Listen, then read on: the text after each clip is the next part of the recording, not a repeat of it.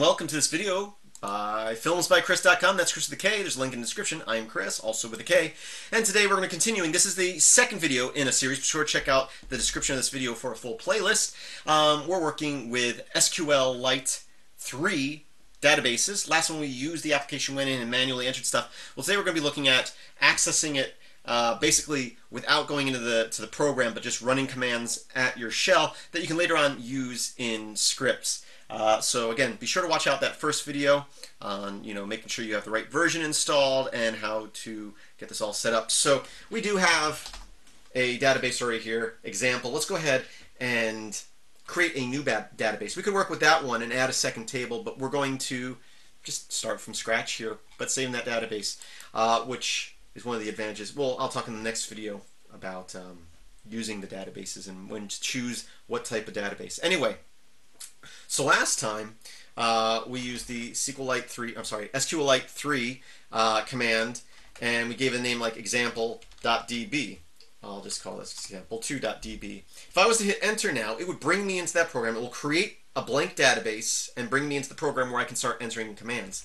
The thing is, you can use those same exact commands, but if you get them here in quotations, um, right at the shell, it will run those commands and exit out of the program, which makes it great for writing scripts. So I'm going to say create table, and we'll call this table, last time we called it table 1. Here I'll just call it uh, people, uh, because this, we're going to enter the same type of information last time.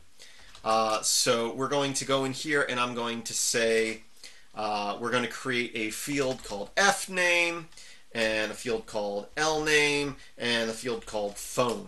I'll go ahead and hit enter and we just created a database again. If I list out my files, you can see them here. I can say file uh, example2.db and you can see right here that it's created a database. Okay, uh, so now we have that.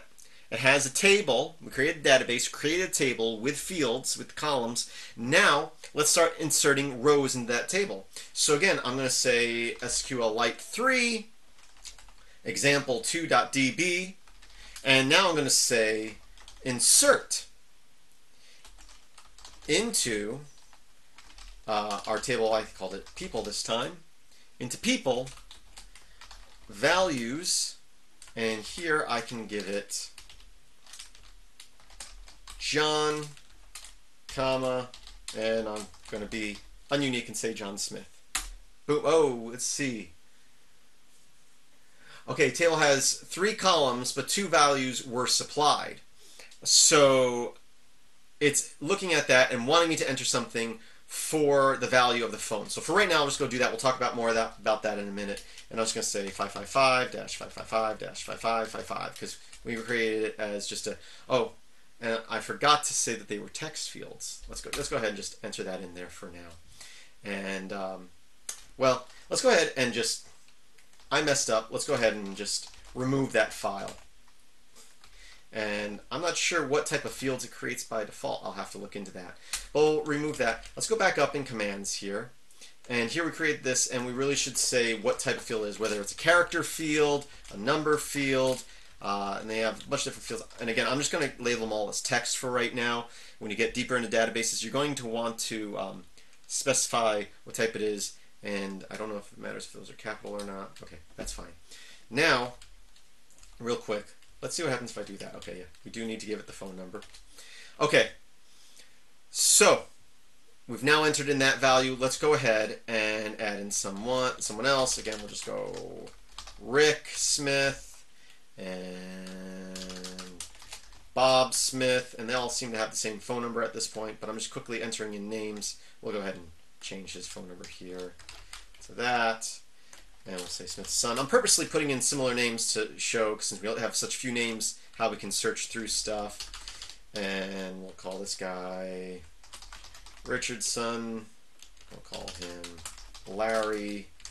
And we'll say Thompson. We'll call him Jack. Okay. Now, just like in the last tutorial, if we wanted to view something, let's go ahead and clear the screen. We'll just say, again, SQLite. Whoops, that's not the right... Uh, sorry, SQLite. If I said it right, maybe I would type it right. SQLite.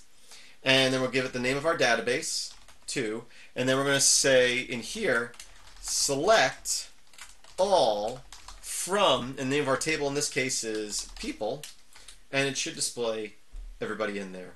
And again, instead of saying all, if we want to, we can say L name. Now we're looking at all the last names.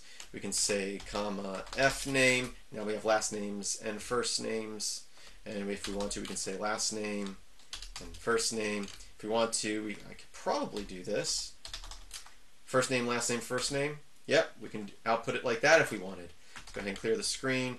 And of course, if we want to, we can uh, also put in there, instead of there, we can say phone number and get the phone number. And of course, it's hidden unless you request it, but it's there is the row ID, which auto increments, and we have them all through there. Now, if we wanted to delete someone like Bob Smithson, uh, or if we wanted to find, let's before we do that, let's search for all that information where uh, L name is like, sorry, that's going on to a new line there, but that says like, and then we're going to say um, like and we're going to say uh, in single quotes here since we're using double quotes on the outside there or we can uh, escape them out we'll say percent son and that should list everybody whose last name ends in son if we wanted to we could also say Smith.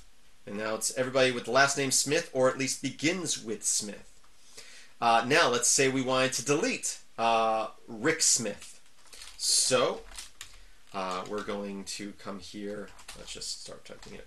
Uh, SQLite 3, or sorry, SQLite 3, uh, example 2.db, and we're going to say delete. Uh, and where are we going to delete? We're going to delete where the ID is. Did I already forgot his ID number. Let's go ahead and look at this again. Okay. Now we're going to say SQLite 3 example 2.db. Then we're going to say delete. And from here, we're going to delete um, from, not table one, people is the name of our table. And we're going to delete where the row ID equals, and uh, we're just going to go ahead and get rid of Bob Smithson, number four there. So we should be able to do that, and he has been deleted. If we run that last command again, you can see that uh, the only people with last names that end in son are Larry and Jack. If we wanted to get rid of uh, Larry, we can go ahead and say he is number five. We'll remove him. And again, if we display everybody in the database, or in that table at least, finish the quotations there, you can see that it has removed them and their IDs. But if we were to add someone in, so again, if we were to run this command, let's just say Control R insert into values. Um, Kelly Thompson, sure. Give them a new phone number. There we go. And we were to display all that out, you can see that they added Kelly at the bottom there with a new row ID. So basically, as you can see, it's all the same commands, that you would do if you're inside the SQLite program, but we're just putting them in quotations there and saying what database and and it's now modifying it all um, or getting that information without going into the program. And so this allows us to script it out. And that's what we're going to play with in the next video. So be sure to check that out. I do thank you for watching. Uh, this is, again, a video by Kris of filmsbykris.com. That's Kris with a K. There is a link in the description. There you can search through all my videos from both my channels. Give you nice little thumbnails there. There's also a support section there. If you click support, it brings you down there. You can support me if you like my videos through PayPal uh, or Patreon. There's also should be a link to the Patreon uh, page in the description of this video, which is um, uh, patreon.com forward slash metalx1000. That's metalx1000. That's unfortunately my username that I picked many years ago and I'm stuck with now. and um, yeah, you can also look through all my notes. I do have notes on all this. If you go to my webpage, click on um, where it says scripts, I believe, and then you'll have a section there that has um, scripts, notes. Um, actually, let me just bring you there. Right here. Let's go films by Kris. And again, the support section will bring you to where you can support me financially if you can.